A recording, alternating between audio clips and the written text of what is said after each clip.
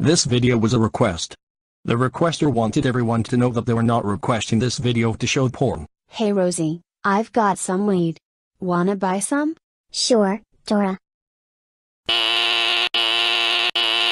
Oh no, we're late for school. I'll buy that weed after school. We're here, Mr. Evkulin. Dora and Rosie. This is the 50th time this school year you have been late and it's only November. Dora and Rosie late again? What a surprise, not. Shut up, Nathan. If you two are late one more time, you will have a held back video made of you. Now sit down. Ha ha ha. I will definitely watch that video when it comes out. Shut up, Nathan. Today we will be doing computer lab. Everyone take out their computer and log on to boringmath.com.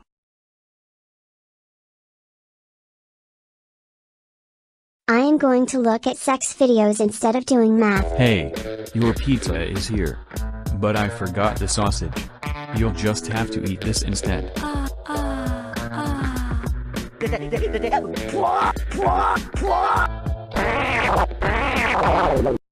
Holy cow. Rosie is looking at porn. Nathan, you fucking rat. What's going on over here? Oh shit, I think I'm gonna. Blag blag blag.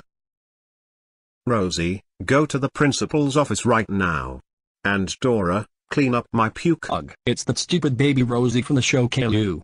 Why are you in my office? I watched sex videos in class. Lel, that's actually pretty funny considering you're like two years old, but you're still in trouble. I'm calling your dad. No, not my dad. He always punishes me in cruel and unusual ways and Child Protective Services refuse to help because they hate my brother's show. That's right. If your parents gave you fair punishments, these videos wouldn't be funny. Well, well, well. It's that cry baby Rosie in trouble at school once again. Hey, I fapped ponies. What's up, my man? Ah, not much, Boris. Just punishing baby show characters. Let's go home, Rosie. I hope you are ready for a really intense punishment day. First punishment, farting in your mouth.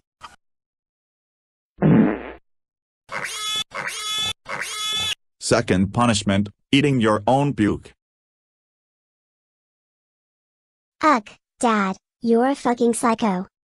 Third punishment, your mother and I nailing you at both ends with strap-ons. Oh my god, you can't be serious.